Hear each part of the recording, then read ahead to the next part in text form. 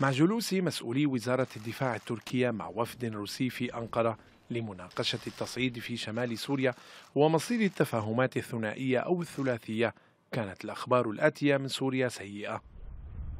في قاعدة تفتناز الجوية تعرضت وحدات تركية لقصف مباشر من قوات النظام السوري.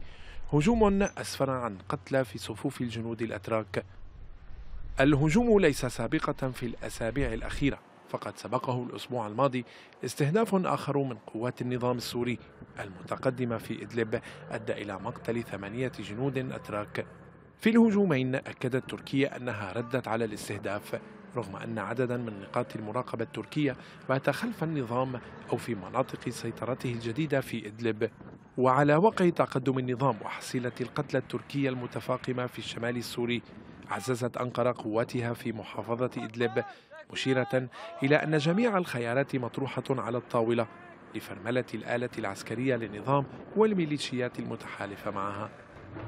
لكن دون الأمر موقف روسي أشبه بالفيتو فهو من جهة يغطي النظام برا ويشارك معه في الغارات الجوية ويقيد القوات التركية برد كاسن لتقدم النظام عتب بلغ حد الاستياء.